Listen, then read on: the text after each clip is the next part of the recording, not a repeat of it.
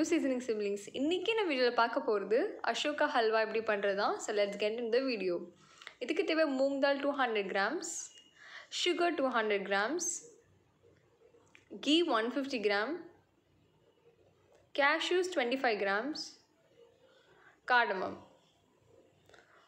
so Ashoka halwa செய்கிறதுக்கு first ஒரு குக்கரில் நம்ம நல்லா வாஷ் பண்ணி வச்சுருக்கிற மூங் தாலில் ஆட் பண்ணிடலாம்.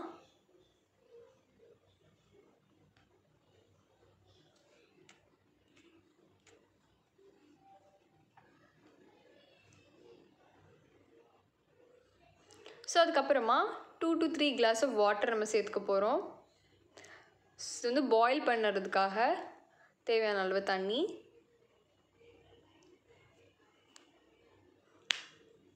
ஸோ இதை நம்ம க்ளோஸ் பண்ணி டூ விசில்ஸ் வரைக்கும் நம்ம வச்சுருக்க போகிறோம் ஆஃப்டர் டூ விசில்ஸ் இப்படி தான் நல்லா பாயில் பண்ணியிருக்கோம்.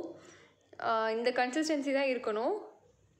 ஸோ பார்த்தாலே தெரியுது இல்லையா? இந்த கன்சிஸ்டன்சியே மாறக்கூடாது.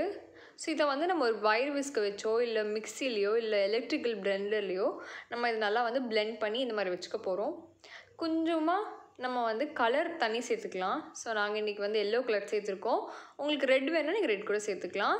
அப்புறமா ஒரு கடாயை எடுத்து அந்த கடாயில் வந்து நம்ம கொஞ்சமாக ஃபர்ஸ்ட் கீ சேர்த்துக்க போகிறோம் இந்த கீ எதுக்காக அப்படின்னா நம்ம கேஷ்யூஸை கொஞ்சம் ஃப்ரை பண்ண போகிறோம் ஸோ அதுக்கான தேவையான அளவுக்கு நான் கீ ஊற்றிருக்கேன் அதுக்கப்புறமா இதில் நாங்கள் கேஷ்யூஸை போட்டு நல்லா ஃப்ரை பண்ணிக்கிறோம். ரொம்ப டார்க்காக இருக்கக்கூடாது. சும்மா லைட்டாக அது ஃப்ரை ஆகணும் அந்த கிறிஸ்ப்புக்காக தான்.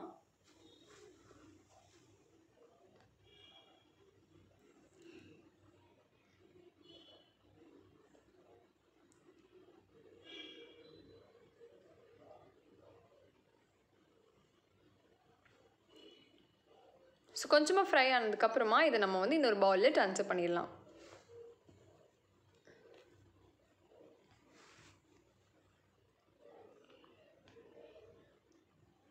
ட்ரான்ஸ்ஃபர் பண்ணியாச்சு.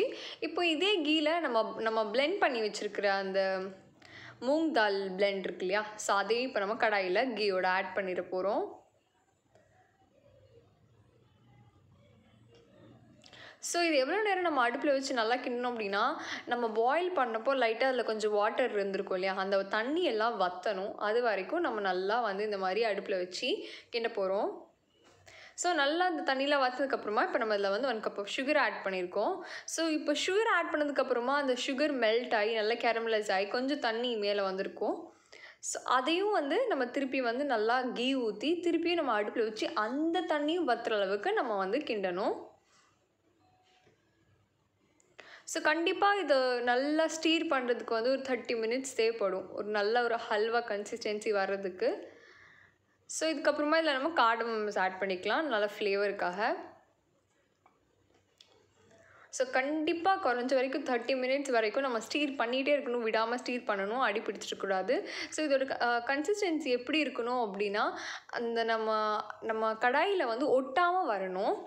ஸோ கீ வந்து ஃபர்ஸ்ட்டே வந்து எல்லாத்தையும் போட்டுறாதீங்க. இது வந்து கொஞ்சம் கொஞ்சமாக சேர்த்து சேர்த்து நம்ம வந்து நல்லா வந்து ஸ்டீர் பண்ண போகிறோம் ஸோ ஃபைனல் ஸ்டேஜில் எப்படி இருக்கணும் அப்படின்னா நம்ம ஊற்றின எல்லா கீயுமே மேலே வந்திருக்கணும். ஃபர்ஸ்ட் வந்து நம்ம பாயில் பண்ண தண்ணி வந்து வற்றணும் அதுக்கப்புறமா நம்ம சுகர் ஆட் பண்ணதுக்கப்புறமா அந்த கேரமலைஸ்டு வாட்டர் வந்து வற்றணும் அதுக்கப்புறமா நம்ம ஊற்றின கீ எல்லாமே வெளியே வந்திருக்கணும். அதுதான் லாஸ்ட் ஸ்டேஜ் அதுக்கப்புறமா இல்லை நம்ம கேஷ்யூஸ் நம்ம ஃப்ரை பண்ணி வச்சுருக்க கேஷ்யூஸை ஆட் பண்ணிவிட்டு திருப்பி நல்லா ஸ்டீர் பண்ணிக்கலாம். ஸோ இதுதான் அதோட கரெக்டான பதம். அந்த நம்ம ஊற்றின கீலாம் மேலே வந்தாச்சு. அடுப்பில் வந்து நம்ம கடாயில் ஒட்டாமல் வந்திருக்கு.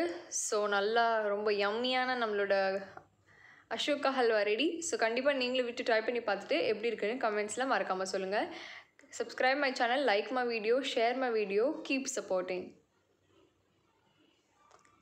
thanks for வாட்சிங் Finally love food.